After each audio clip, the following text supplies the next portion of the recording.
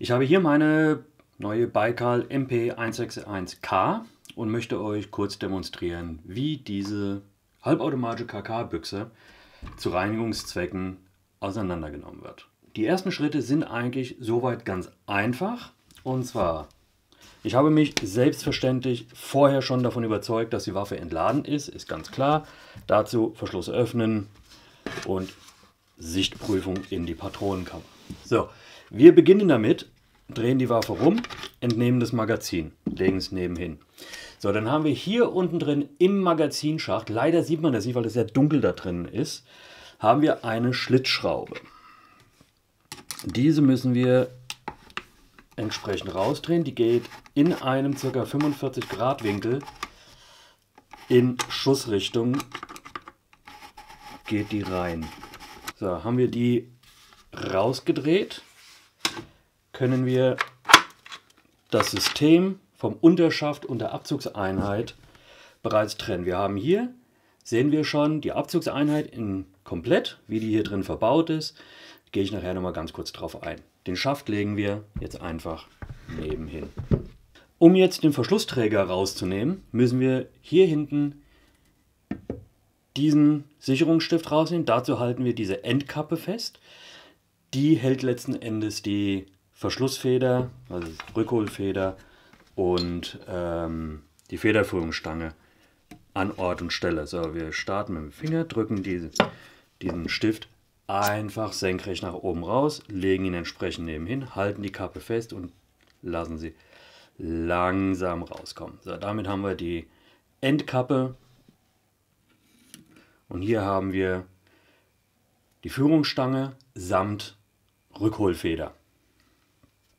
So, jetzt wird es ein ganz klein wenig tricky. Das habe ich noch selber auch noch nicht getan. Wir schieben den Verschlussträger ganz in die rückwärtige Position. Da sehen wir auch hier diese, diese zwei Öffnungen und halten ihn dort letzten Endes so ein bisschen an Ort und Stelle.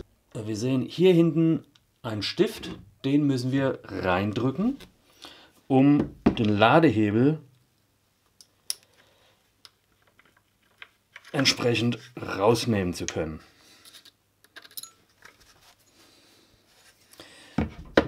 Bisschen Platzmangel hier drin.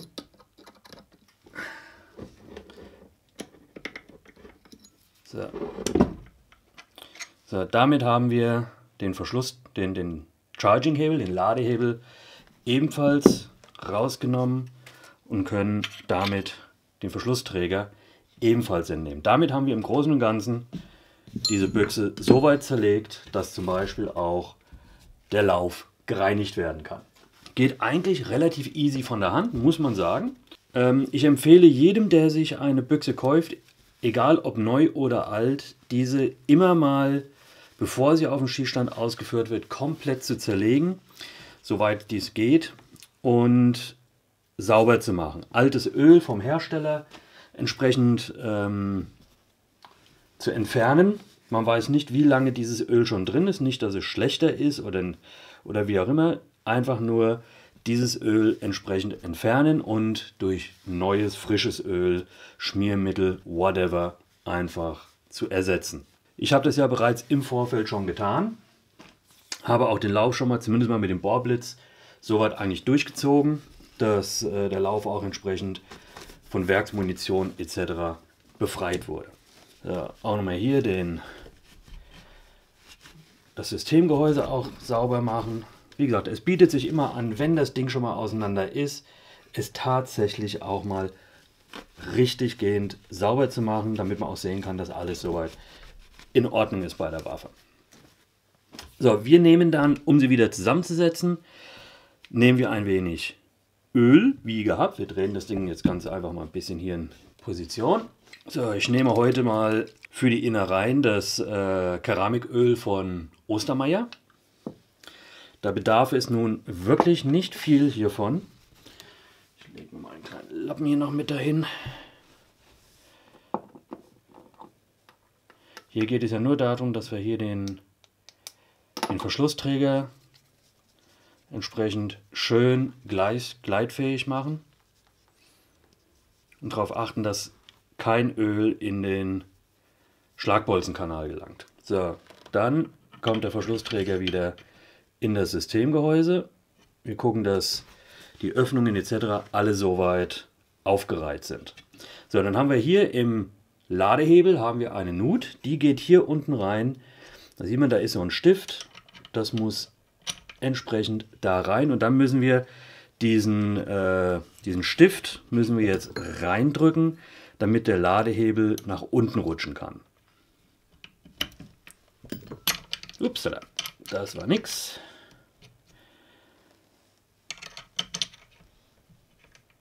So, am besten auch mit ein bisschen Druck. Genau. Na, noch nicht ganz. Na.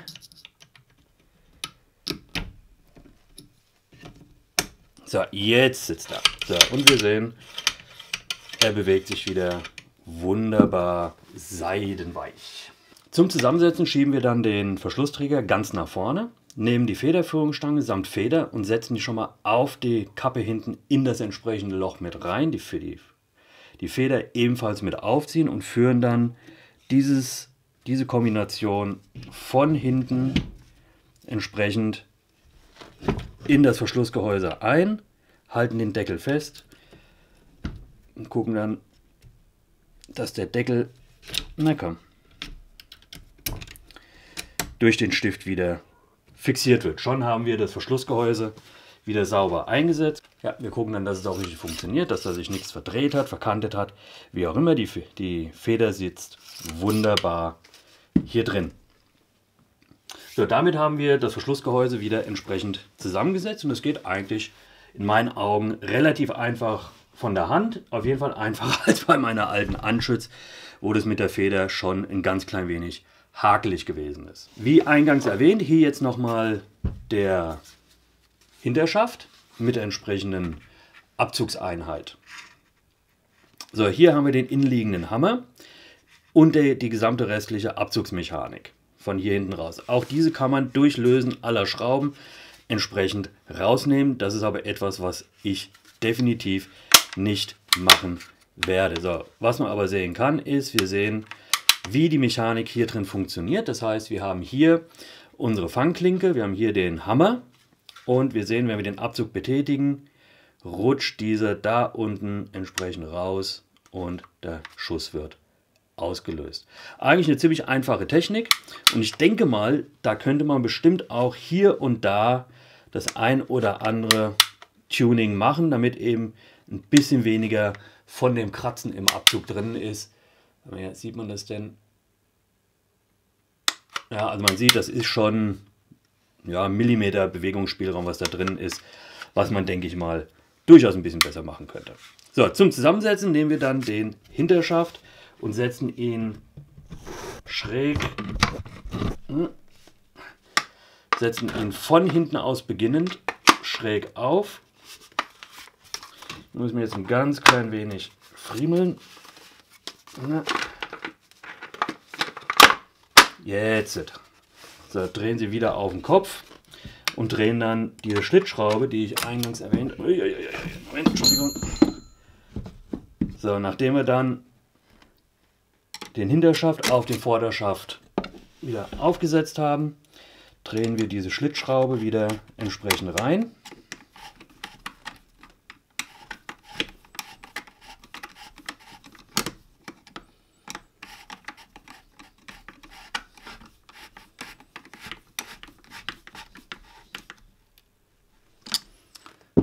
Drehen Sie mit Gefühl entsprechend fest. Checken nochmal die Funktion. Durchladen funktioniert. Ich weiß, nicht trocken abschlagen. Ich, aber wir müssen ja gucken, dass sie wieder funktioniert. So, und damit haben wir die Baikal einmal auseinander und wieder zusammengesetzt. Zum Beispiel zum Putzen. Ja, dann kann auch die Zieloptik wieder drauf.